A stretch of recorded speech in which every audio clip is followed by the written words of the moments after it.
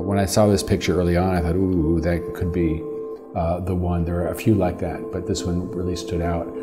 Um, this is a very incredible image from the refugee crisis of 2015. It's incredibly powerful visually, uh, but it's also very nuanced. We've seen thousands of images of migrants in every form of their journey, but this image really caught my eye simply for its painterly qualities. It's, it's a black and white, almost as if it's charcoal on a page. The symbolic of the uh, barbed wires, this man handing his baby to someone else during the night, so there is a haze about it. We thought it, uh, you had almost everything in there. It's not really a sharp photo. It gives also, because of the, the grayness, a bit of non-information, which makes it a bit mysterious. It's a haunting image.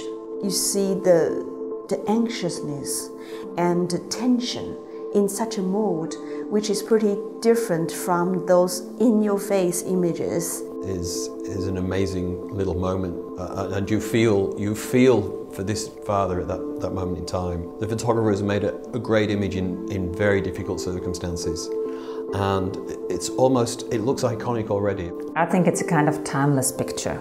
Uh, I just think it's wonderful and it reminds me on, on historical pictures, but on the other hand, it's also very modern. This isn't the end of a journey, but it's the completion of one stage of a very, very long future. And so for me, this, this had to have been the photo of the year.